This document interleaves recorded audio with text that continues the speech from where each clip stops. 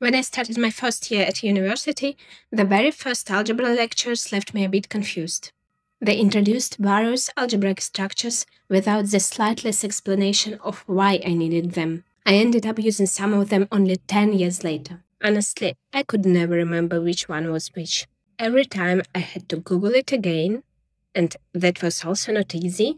There are tons of pictures which try to connect all these structures, but none of them were exactly what I wanted, so I just tried to systemize them on my own. You will find the link to the PDF file in the description, but before you download it, help me a little bit. I had to explain this, but the point is that my YouTube channel is incredibly unpopular and my videos don't even get watched the amount of hours I wasted to make them. They're probably not perfect. I'm a scientist, not an actor, but I'm really doing my best. So if you find this useful, please watch this video till the end. Uh, put a like or subscribe, probably after your like. YouTube will finally start recommending it to the target audience and give it a chance to at least be Googleable by the people who really need it, who are looking for this information. And of course, I'm not paid for these videos, I'm doing them in my free time. Thank you for watching and let's move to the main part. Let's now discuss how to use this diagram. First of all, everything is about sets. Or informally speaking, we have a collection of elements, any elements, like this. All the objects mentioned here are just sets with some additional properties. These properties are called axioms and they are listed in the center of the diagram. Different sets may satisfy different amount of these properties. So how do we read this diagram? Latin letter x, y, etc. denote elements of a set. In the center, we are talking about binary operations, like addition and multiplication. Every item is an axiom. The pink rectangle show which axioms are satisfied for a particular structure, for example, group or algebra. In the rectangle, we can also find some examples of these structures. But we need to keep in mind that addition doesn't necessarily mean addition in the usual sense. Same for multiplication. The plus and multiplication symbols are just that, symbols. They can represent any operation.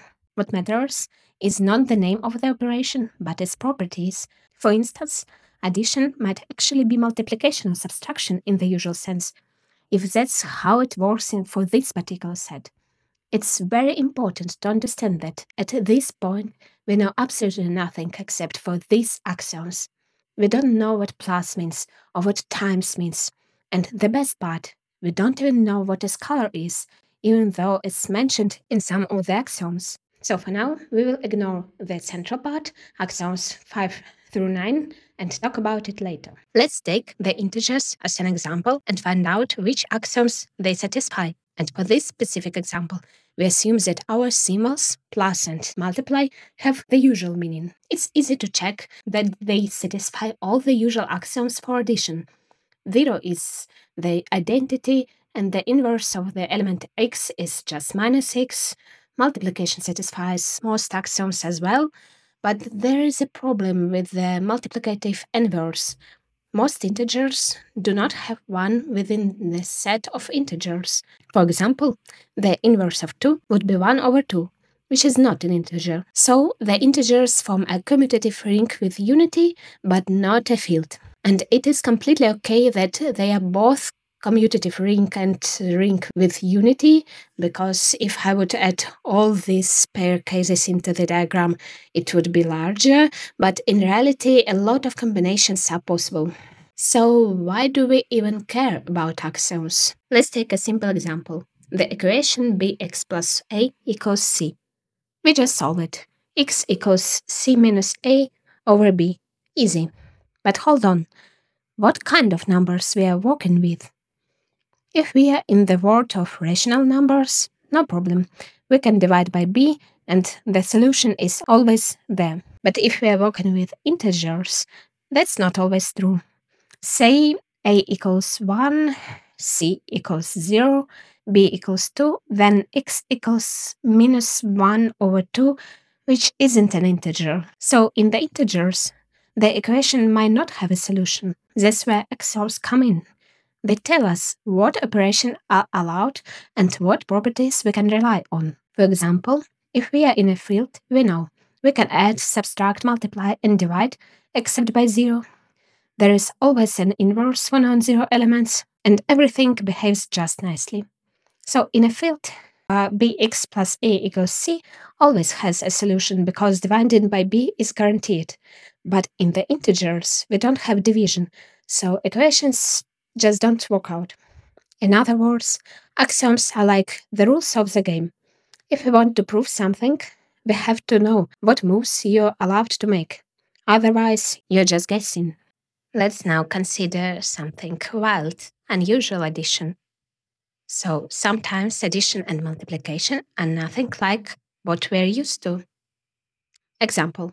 Let's take the set of real numbers and define a new addition operation as x plus y equals x multiplied by y in usual sense minus x, also in usual sense. Sounds a bit weird, doesn't it? Uh, but it is just the way how we defined this plus sign. Let's check whether this operation satisfies the first axioms. Associativity, it's a little bit tricky. Let's substitute everything. And for the left-hand side, we get this expression. And for the right-hand side, we get this expression, which are definitely not equal to each other. So the operation is not associative. Now let's check identity element.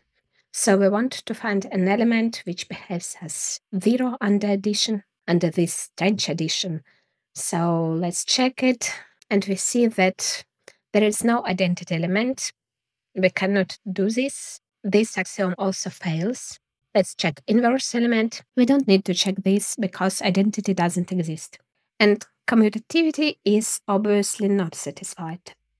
So basically only closure is satisfied and such a structure is called a magma. If the first three axioms are satisfied, it is called a group. If it is also commutative, it's a abelian group. The pink rectangles just show which axioms are satisfied. If every axiom for both addition and multiplication is satisfied, we have a field.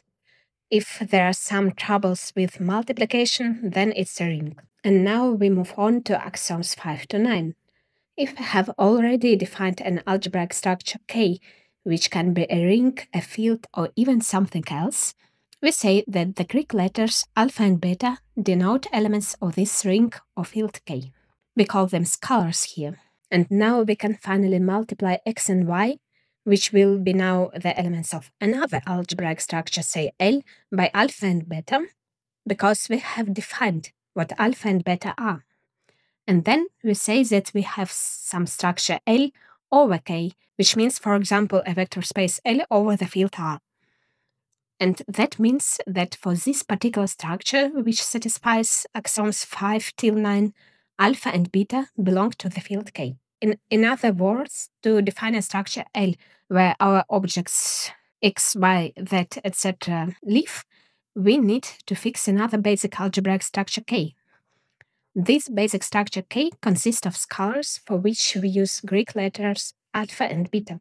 It sounds quite tricky, but when you start really work with, uh, for example, vector spaces, it will be quite intuitive. And you will not remember all the axioms all the time, but it's useful to keep in mind that they exist. And some discussion, as I told, there are examples of each structure in the diagram. Don't be scared if you're not familiar with them. I really tried to find examples that satisfy exactly these axioms and not more, but I might have made a mistake. If you notice any mistakes or inaccuracies, please write in the comments and I will update the file. Not all possible algebraic structures are listed here, otherwise the table would be too big. But of course, we can always say something like commutative and associative algebra if both properties are satisfied, a unital commutative ring with division. Uh, sometimes it's also useful to use structures that satisfy many axioms as simpler objects.